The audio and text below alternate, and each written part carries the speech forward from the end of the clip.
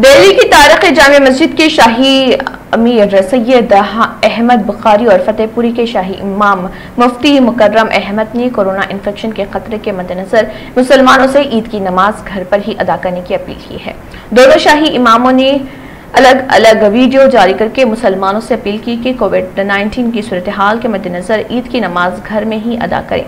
अहमद बुखारी ने कहा कि इस वक्त कोरोना वायरस पूरे मुल्क में तेज़ी से फैल चुका है और ये वायरस बड़ी तादाद में लोगों को अपनी जिद में ले रहा।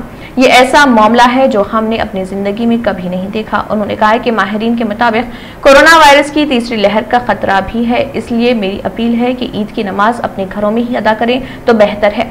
फतेहपुरी के शाही इमाम मुफ्ती मुकरम ने कहा है कि कोरोना वायरस की दूसरी लहर चल रही है और रोज लाखों मामले सामने आ रहे हैं। हज़ारों लोगों की मौत हो रही। हालात के मुताबिक बहुत एहतियात बरतने की ज़रूरत है।